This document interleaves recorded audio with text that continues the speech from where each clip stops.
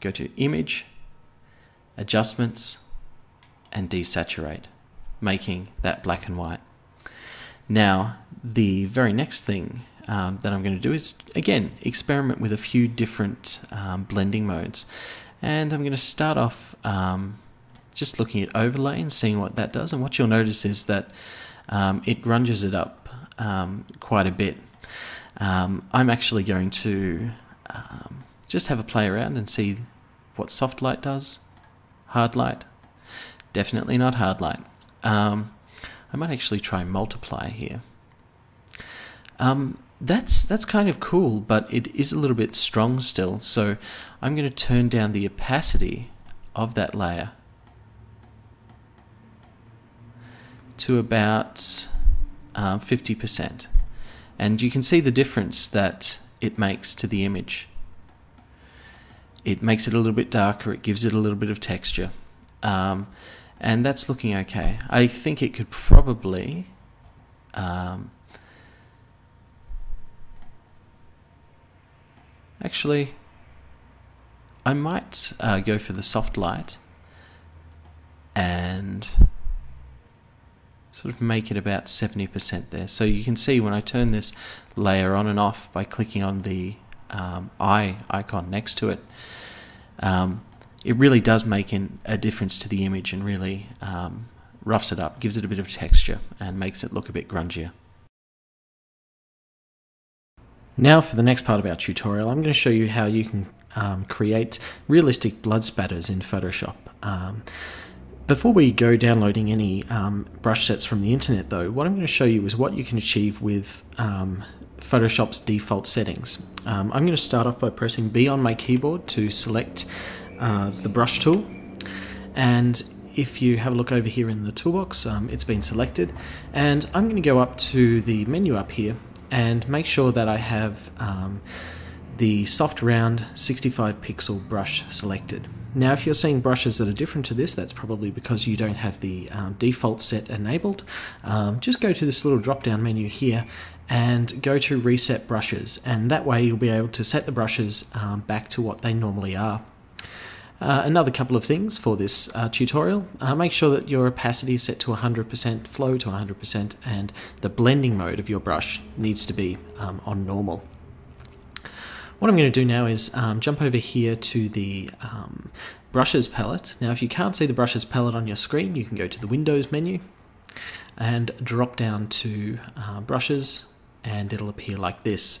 Now to start off with, you'll notice I'm not really making uh, any changes to the default um, brush tip shape here.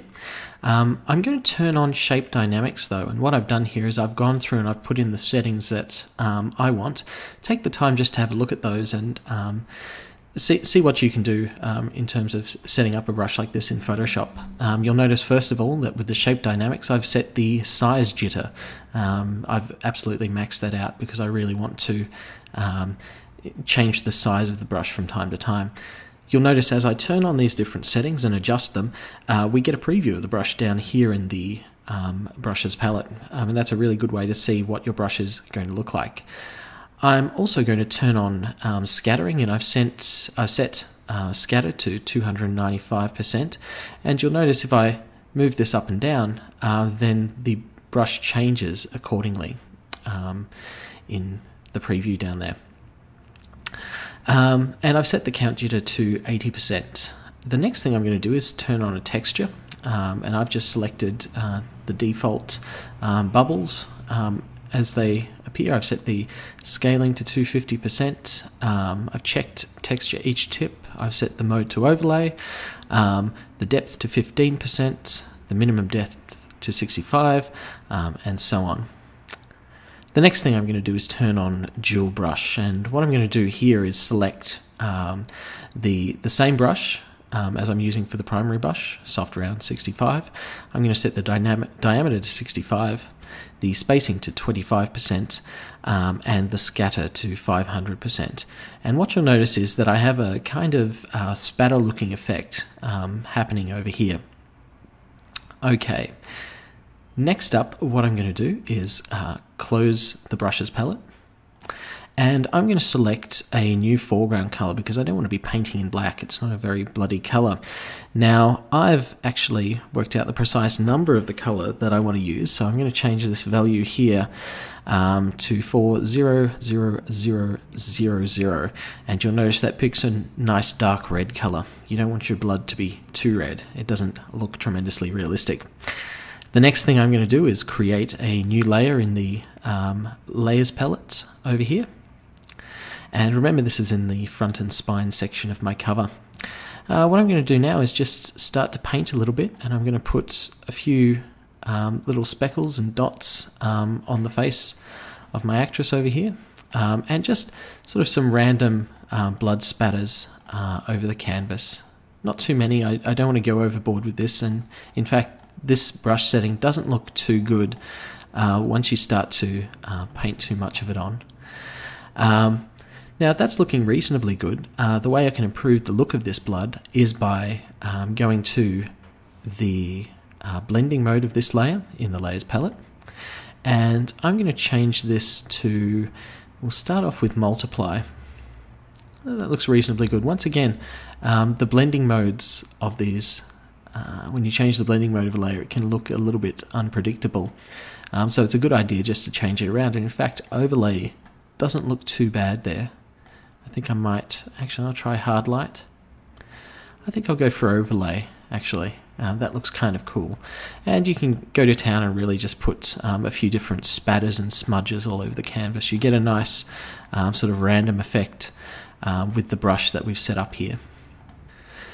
Now what I'm going to do now is show you another technique um, for using brushes. And if you head over to Google and um, search for blood spatter Photoshop brushes, you're bound to come up with a whole heap of great uh, brushes. I'm going to create um, another new layer here. Uh, once again, I'll set the blending mode to overlay because that looks pretty good. And I'm going to go up to the um, brush menu up here in the options bar go over to um, this little drop down menu and I'm going to load some brushes. Um, on the desktop of my computer, um, I've already downloaded a set of brushes from the internet. And when you load the brushes, um, they'll appear at the bottom of, uh, they'll be appended to um, the bottom of your um, document here. So if you grab a brush like this one, you'll notice that it creates a really cool kind of um, blood spatter, and you can put that in your document. Um, play around with the brushes, select um, different ones, download multiple sets, and I might actually change uh, the blending mode of this to normal so you can see it a little bit better as I paint it. Um, I'm also going to grab, ooh, that's a kind of awesome spatter there.